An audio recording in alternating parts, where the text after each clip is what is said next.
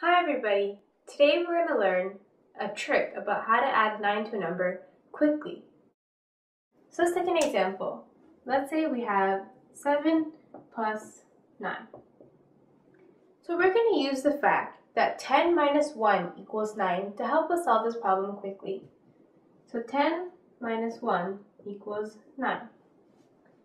Now instead of adding 9 and 7 together, we are going to first add 10 and then subtract 1 to get the same answer. So I would do 7 plus 10 first. And what does 7 plus 10 equal? 7 plus 10 equals 17. And remember, I still have to subtract 1 from 17. So 17 minus 1 equals 16. So what do you think 7 plus 9 must equal?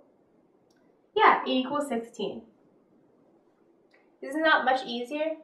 So let's look at another problem. Let's say we have 9 plus 5.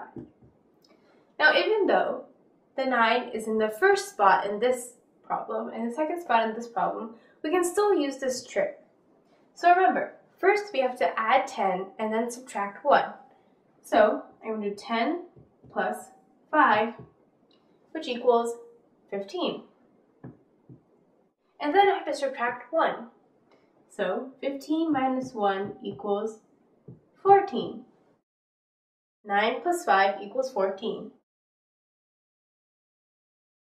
The reason why this is so much easier is that we're, we're adding a whole number, 10, and subtracting 1, both which are much easier than adding a big number like 9.